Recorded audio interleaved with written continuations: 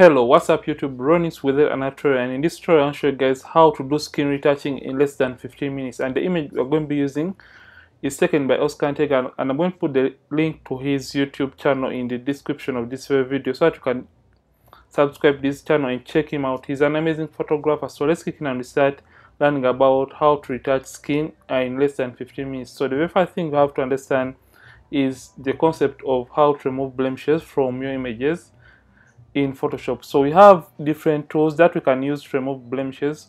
So the very first tool is the spot healing, healing brush tool.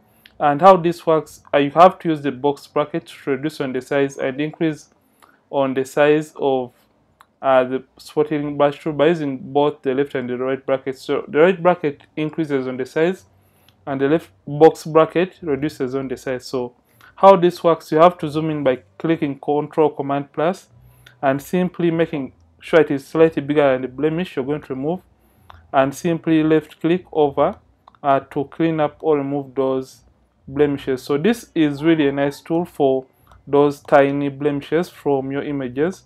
So just come and click over to uh, remove those blemishes. And for areas where you have a big blemish like this area you can simply right click here and select the patch tool.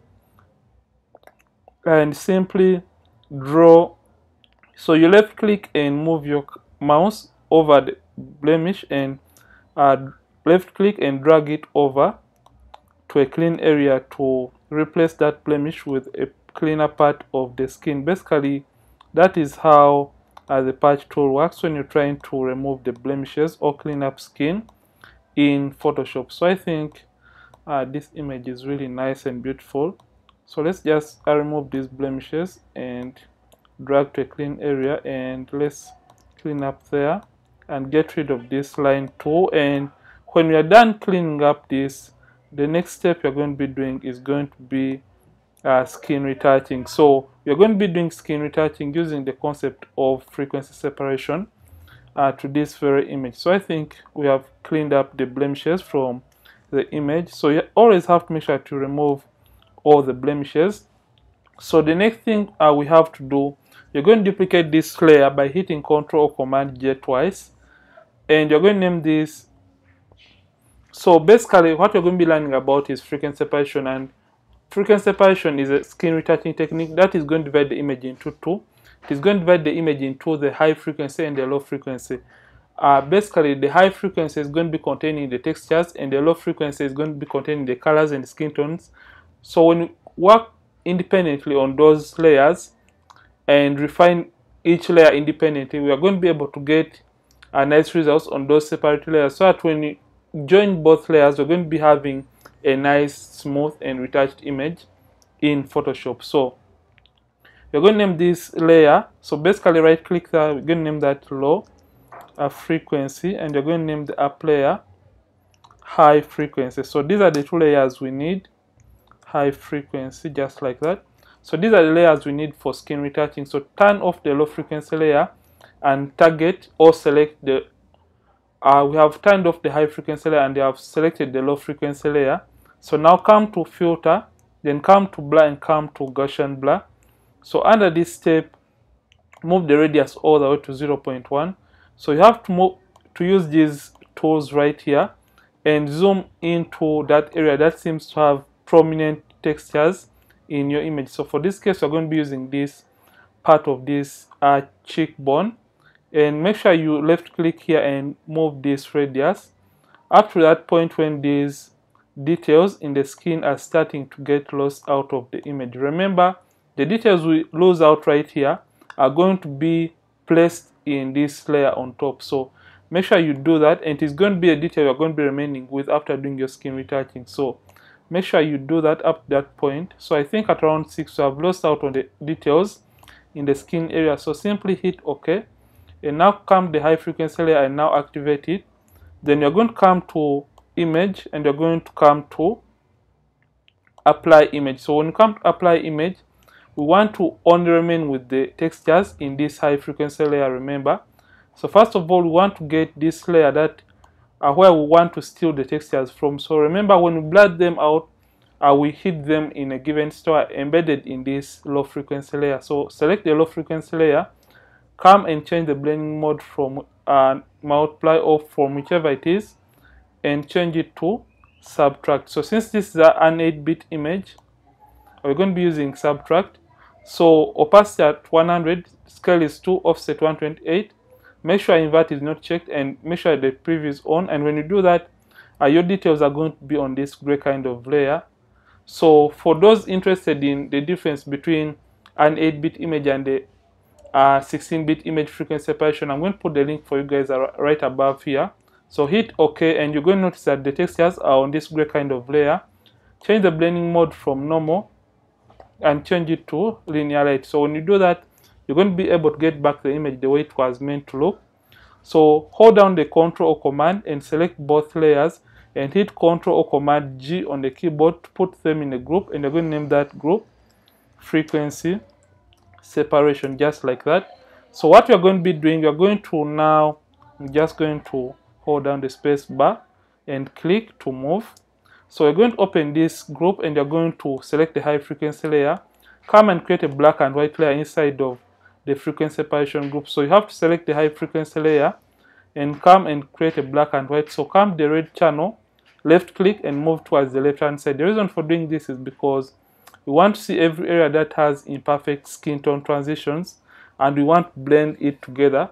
So the reason that's why you're seeing this cross icon, make sure like every time you're doing anything in Photoshop, turn off the uh, caps lock key. Make sure the caps is off. And now after you have created the black and white layer, we have to deal with the colors and the skin tones. So come and select the low frequency layer. Then come under the brushes, right click and come to the mixer brush tool. So we have to set up the mixer brush tool in order to blend or even out the skin tones. And we have nice transitions within the skin tones. Make sure it is a clean brush. So we have two options right here. We have load the brush after each and every stroke and clean the brush after each and every stroke. So we only want this selected. So come and select this option Wetness, you're going to be using a wetness of 9, load 75, mix 90, and the flow 100. Make sure sample all layers is not checked or marked.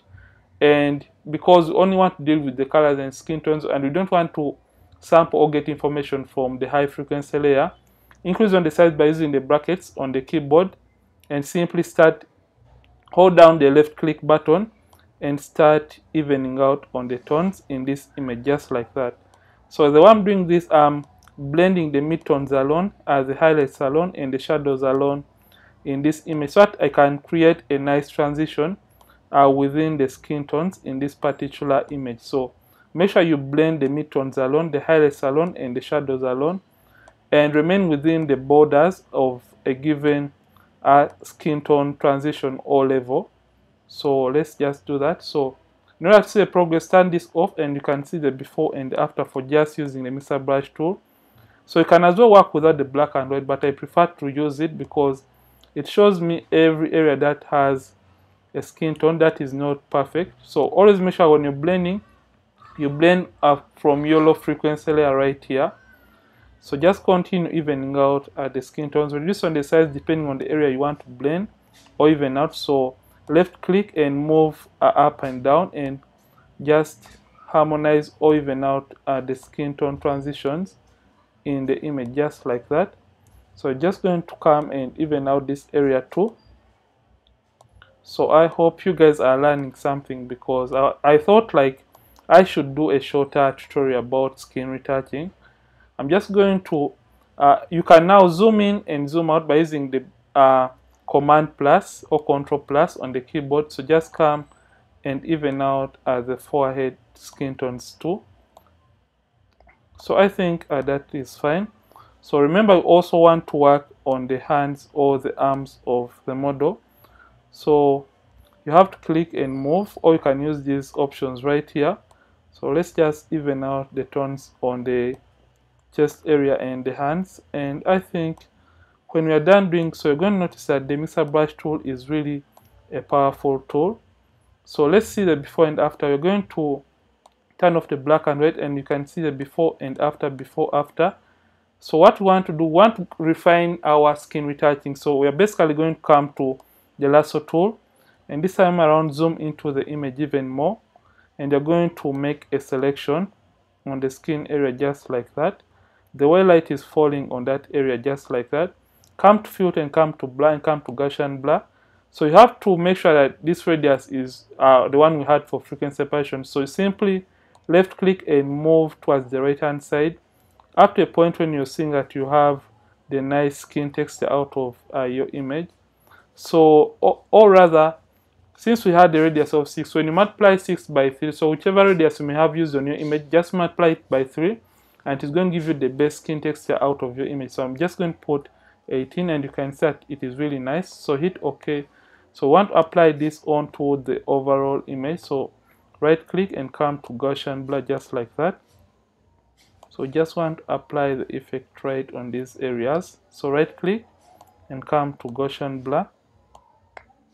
Then come right under the lip and right click and come to Gaussian blur. So basically that is what we want to do uh, on this particular image to refine the areas we may have missed out when we're using uh, the mixer brush tool to even out the skin tones in this particular image. So right click and come back to Gaussian blur and you can see that this is uh, more of a refining technique of uh, the skin tones and the skin textures in the images using frequency separation.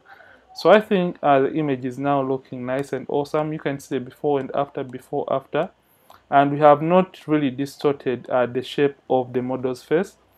So what we want to do we want to do a little bit of uh, final touches onto this image. I'm just going to click and delete the black and white layer close the frequency separation group. And right now what we want to do we want to do a little bit of touch up right here on the lip area.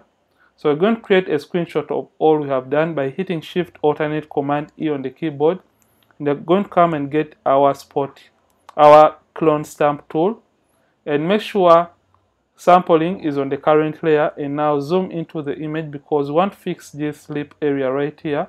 So increase on the size of the uh, clone stamp tool and simply hold down the alternate key sample from uh, this area and now just come and paint to fix the lip area or the lipstick that was missing in this particular area. So just do that So you can see how effective this tool is. So you can even come and clean up this area of the lips just like that. So you can see the before and after, before, after. We have just fixed that in just a short while. So want to do a little bit of eye and teeth whitening to the model's eyes and teeth. So simply duplicate this layer by hitting Ctrl Command J and come to filter and come to the camera raw filter and you're going to uh, do a little bit of eye and teeth whitening. So zoom into by clicking over this or you can use command plus or control plus. Get the adjustment brush tool and take the temperature all the way down to around uh, negative 26 and the tint uh, to around 63 or 62 because we are eliminating greens from the white area of the eye. The highlights at 4 plus the whites because we want the eyes to pop. And now take the saturation all the way down to eliminate color from uh, the white area of the eye to around 62 and simply uh, left click and start painting over the white area of the eye. So make sure you only paint over on what you feel should be white in the images. So hold down the space bar left click and move to another area and just whiten the second eye. Uh, hold down the space bar click and now come to the teeth and do the same for the teeth whitening basically. So let's just whiten the teeth and we are going to be good to go uh, with this image. So I think we are done whitening the teeth too. So command minus to zoom out and simply hit OK to open the image back into Photoshop. So let's see the before and after for the overall skin retouching and eye and teeth whitening. So this was the image initially before after before after. And I hope you guys love it the way I do so the final step for color grading is going to initially be coming to the selective color option and simply play around with the colors. So come the blacks and simply intensify on the blacks in the image. Then come under the reds because I want to reduce the amount of reds in the image. I'm just going to turn down the magentas from this image just a little bit. And I'm going to uh, reduce on the yellows too from this image just a little bit then I'm going to come under the yellows and simply eliminate uh, the yellows too. Just a little bit. So you can see the before after before after. We still have the image intact and looking amazing the way it was meant to be. So you can now go ahead and export this image uh, the best way by simply coming to file and come to export and coming to export as. So when you come to export as it's going to open for you this uh, little window right here. And under this window you can select the format that is a jpeg of course.